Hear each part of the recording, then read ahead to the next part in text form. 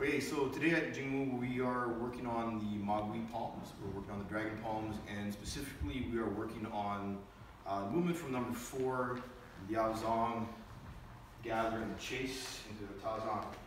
And what we're just sort of playing with is understanding how it's an, um, a blend, absorb, neutralize, redirect to create space for that chase. So Mike punches, right? And here we train, right? This is why we train the whole movement where we step, where we reach up for the Liao Zhang, and then down and close. Right?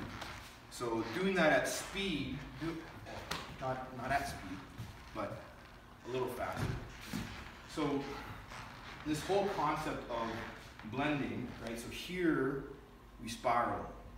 We spiral up and we sit and root at the same time, stepping to begin to enter the structure of your opponent, right? right? So again, doing this slow to be careful to understand the feeling, right?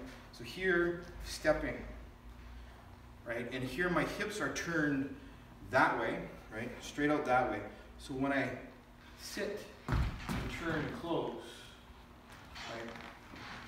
Now creating the space here, right?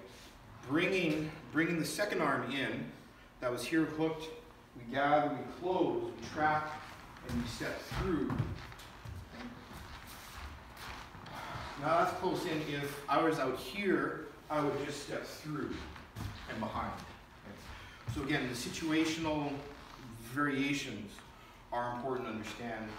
Um, ideally, because when in, in an altercation, a situation where you're up and you block or you engage with the outside hand instead of this, the way we were kind of practicing in class, because the movement, the movement is the engaging and here's the rear hooking hand, right? Here's the rear hooking hand and here I've got the wrist, so when I'd step in, I'm not gonna actually do this, but you'd step through, break the leg, and then drive your opponent, drive the person straight down to the ground. So understanding engagement, even if you do this type of catch, and then stepping in, right? So we practice this to understand how to reach, how to engage, spiral, twist, coil, wrap, sitting, right? So here you'd be kicking through and altering the root of your opponent while you step through. So just, just hold your arm out. So the whole point is to have this type of movement, this type of coiling, wrapping movement, because if the initial contact, the person is strong, right, we're spiraling, we're turning, I'm turning my body, turning my body, and then dropping and closing to affect change in my structure, right? So here, the close, and we train, again, we train for this big sweeping motion.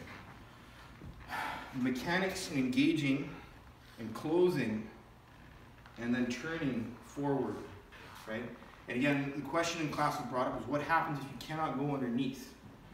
And that's a really good question because sometimes you cannot brace underneath and they're really fast and the second punch comes up, which is why you have the chase and step through into their structure, right?